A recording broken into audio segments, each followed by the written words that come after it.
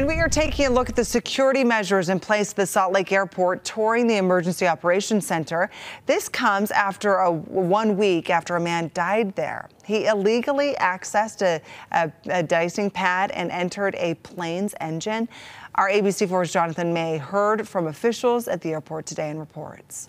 I would just say on that front, from a personal perspective, it's a real terrible human tragedy uh, and someone who obviously was uh, having a very challenging moment in their lives that, that led to something that no one wanted to see. From a security perspective, the airport says the technology worked well here on New Year's Day. Here in the control center, they are nearly equipped with 4,000 high-speed cameras and staff constantly looking for anything they need to check out. Being able to find him, identify him, uh, locate him within 10 minutes is really pretty extraordinary. Locating him quick, since each door will sound an alarm if they feel the force of someone trying to open them without a badge. And crews here will know what door it is. So when the alarm goes off, folks in the control center know exactly uh, where this is, and they're able to dispatch uh, very precisely. The airport says Efinger ended up running to the south end of the airport's west runway and crawled into an aircraft engine that was not running.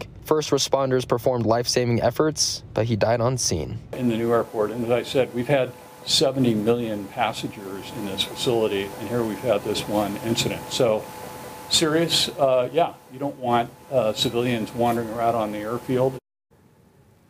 Again, that was ABC4's Jonathan May reporting. We thank you, Jonathan.